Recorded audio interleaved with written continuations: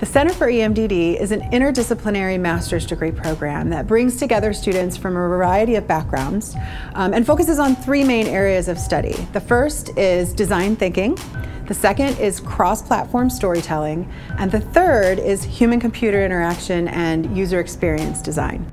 Our program is an applied program, which means that our students work together with industry partners to address design challenges that they bring to us. The Blue Roots Project grew out of a partnership with Circle of Blue. Circle of Blue is a nonprofit journalism group that covers the global water and energy crisis. The Blue Roots Project is a group of four graduate students from the Center for Emerging Media Design and Development who have worked on the hashtag My Water Story campaign. The main goal of our social media campaign was to connect the idea of water issues and the value of water to our audience, which is 18 to 24 year olds. The Blue Roots Project challenged our audiences to tell us the story of water and how it relates to their lives on both a personal and physical level. So we had our audiences send us stories through social media and other digital spaces that illustrated those stories. The Blue Roots project culminated with a trip to Rome, where we got to spend three days working at the Vatican during World Water Week to help facilitate a number of workshops and conference on the value of water. One of the most exciting events was being able to be on stage with the Pope as he gave the papal address in St. Peter's Square. He acknowledged the Watershed group and um, gave our group a blessing as we moved forward over the next few days talking about the value of water.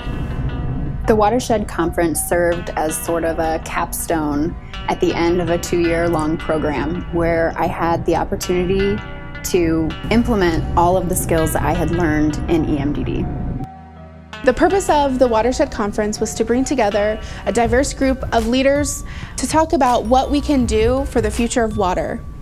On the last day of the conference, we basically worked with experts on a workshop to figure out how do we actually solve the, the water crisis in the world. And you know, we all come from very different domains, different backgrounds, yet all of my team members, including myself, we were able to apply our design thinking skills and connect with these experts in ways that maybe they were unfamiliar with, but we were and we felt very good about it. And I think that was the moment that I knew that we were successful in what we were doing in EMDD. Our students dove right into that process, helped facilitate those conversations, and used everything that they learned as students in EMDD to begin talking about the kinds of physical experiences and digital experiences that we might build to help people around the world really start to understand both the water crisis and the value of water in our lives.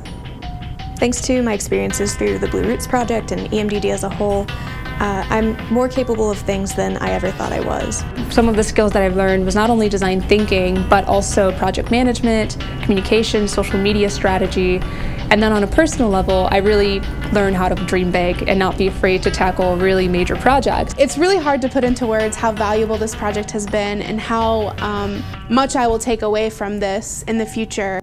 It has taught me to really think big and to reach for things that you may have otherwise thought were impossible.